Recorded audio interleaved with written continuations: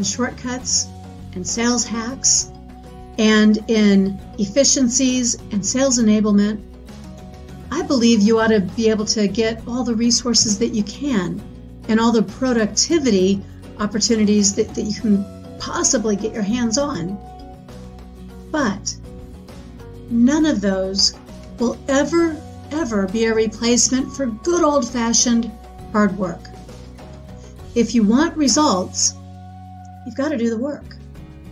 I don't mean that you have to work longer hours, but I do mean during those hours when you're working that you're really working and that you're working on the right things.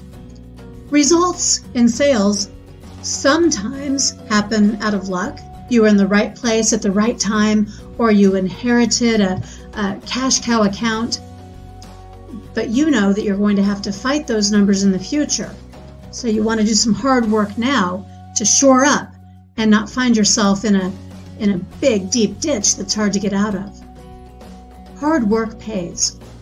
Even when you've got all the shortcuts and all the productivity tools in your tool belt that you can, using them wisely, working hard will help you to get those results you're looking for faster and more consistently. Ultimately, it's all about the results. Why do all the work, no matter how much fun it might be, unless you're going to get something out of it? Uh, that's how I feel about things. I, I like to be productive. What I'm showing you here and on the next slide, these are some before and after photos from 2019. Whatever comes out of the garden ends up ultimately on the plate might not be my plate because I give away a lot of stuff. I trade for many, many things, but it's going on somebody's plate. And I enjoy recipes and exchanging ideas and creating in the kitchen too. That's all part of the fun. What you produce gives you opportunities that are different from other people's. The more you produce, the more opportunities you have the better you produce, the better the opportunities you have when it comes to results. This is true whether you're building people, whether you're growing sales, no matter what you're doing in life, hard work does pay off. In my garden, I'm growing 57 different things this year. I'm going to have lots of opportunities to experiment and try new things. Every day, whatever comes in in the produce box that day will become something for dinner that night or for a canned or frozen or, or sealed item that we use in the future.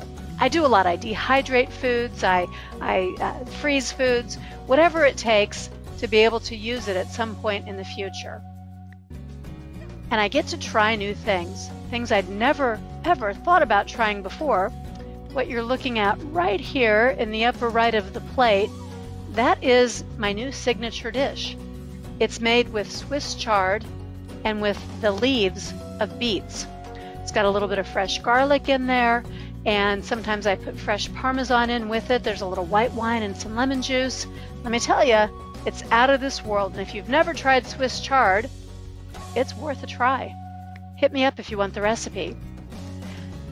Potatoes are fascinating to me. I've never grown them in dirt because I've always heard what a hassle it is you have to be able to dig down into the dirt with a shovel and do it very carefully so you don't nick the potatoes as you're shoveling them out. But I decided to give it a try in bales of straw because the harvesting process is entirely different. This photo on the left hand side, that's not dirt. That is a potato in a straw bale. The straw bale has decomposed so much since the beginning of the season that it actually looks like and feels like very low, very, very loose dirt at the top. And so when I harvest the straw bales that are that decomposed with potatoes in them, potatoes I planted in, in late March and didn't harvest until early November, when uh, it gets to this point, I can literally kick gently the side of the straw bale with my foot and the potatoes just fall out and out of only three bales of straw, I got enough potatoes to last us for months, and we were eating potatoes often. way too often. and even before that, I had harvested new potatoes earlier in the season because I just I, I wanted to see how they were. And you can try all sorts of things. If you're growing herbs, especially, I dry my herbs. I've, I've used dill in a hundred different ways. I never even knew how much I liked dill until I gave it a try. The results matter. And your willingness to try new things gives you an opportunity to drive new and different results. Things that you never knew you liked, maybe yellow squash, or maybe it's it's purple carrots, maybe it's beets. You think you don't like them until you find out there are all new ways to prepare them. Sweet potatoes, wax beans. By the way, don't bother boiling beans. Saute fresh beans, they're so much better. Uh, whatever it is that, that you want to give a try to, you'll find that the results are worth the hard work that you put in.